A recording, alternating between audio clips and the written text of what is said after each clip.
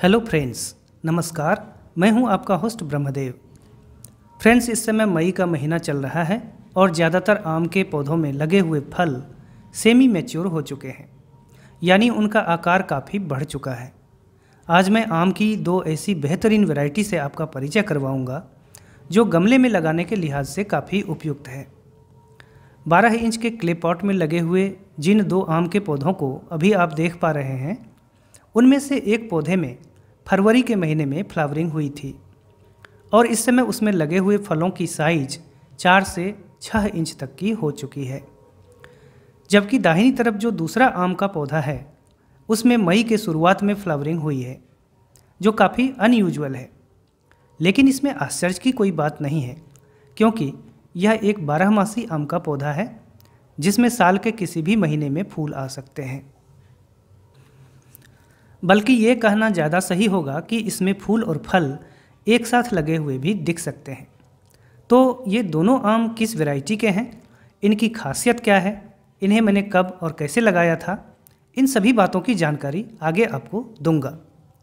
सबसे पहले बात करते हैं इस मैंगो प्लांट की जिसमें फल लगे हुए हैं। इसके फलों का आकार एक केले की तरह है और इसी वजह से इसे बनाना मैंगो कहा जाता है। यह एक एग्जॉटिक प्लांट है, जो थाईलैंड में काफ़ी पॉपुलर है, लेकिन इसकी पॉपुलैरिटी अब इंडिया में भी काफ़ी बढ़ रही है। बनाना मैंगो का फल केले की तरह आकार लेता है और इसकी लंबाई 10 से 11 इंच तक बढ़ सकती है। इसके फलों का टेस्ट भी पकने पर काफ़ी मीठा और जायकेदार होता है। बनाना मैंगो के बीज भी काफ़ी पतले होते हैं।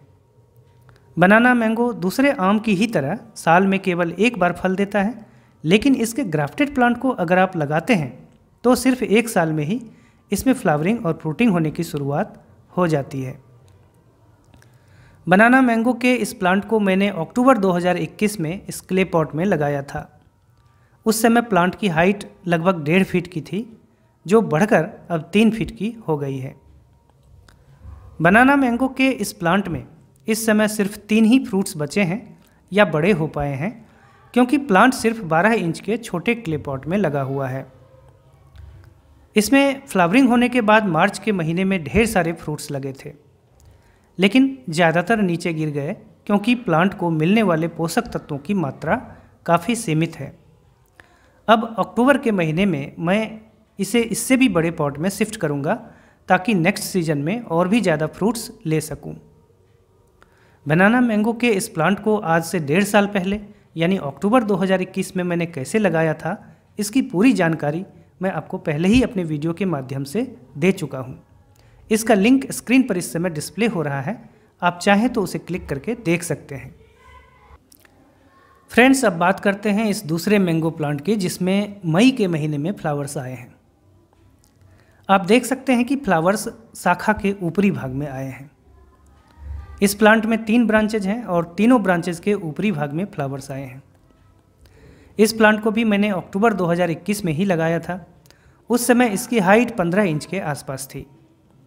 इसे लगाने के चार पाँच महीनों बाद ही, यानी मार्च 2022 में इसमें फ्लावर्स आ गए थे और एक फल भी लगा था। लेकिन उस समय प्लांट की हाइट काफ़ी कम थी और फूल या फल लगने से पहले उसे मजबूती की आवश्यकता थी। अब डेढ़ साल बीतने के बाद प्लांट की हाइट लगभग चार फुट की है और यह पहले से काफ़ी स्ट्रॉन्ग है। तो मैंगो प्लांट की इस वैरायटी का नाम है कैटीमोन मैंगो। यह भी थाईलैंड की एक किस्म है, लेकिन दूसरे आमों की तुलना में यह अलग है। दरअसल यह एक ऐसा सदाबहार आम का पौधा है, जिसमें साल भर फूल और फल एक साथ आते रहते हैं। आने वाले दिनों में इस प्लांट में छोटे फल, बड़े फल और फूल एक साथ देखने को मिलेंगे। कैटिमोन मैंगो की खासियत यह भी है कि यह आम का एक बेहद मीठा किस्म है। कैटिमोन मैंगो के कच्चे फ्रूट का टेस्ट भी मिठास लिए होता है। पकने पर यह बहुत मीठा हो जाता है और इसका स्वाद भी उम्दा होता है।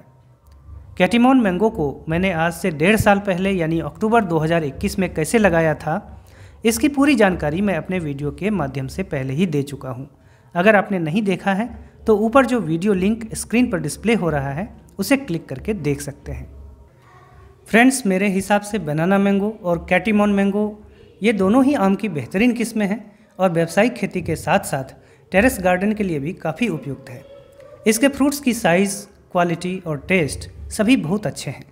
मैंने आम के इन दोनों ही एग्जॉटिक किस्मों के ग्राफ्टेड पौधे को कैलकाटा की एक ऑनलाइन नर्सरी से मंगवाया था, जिसका लिंक मैंने डिस्क्रिप्शन बॉक्स में दे दिया है।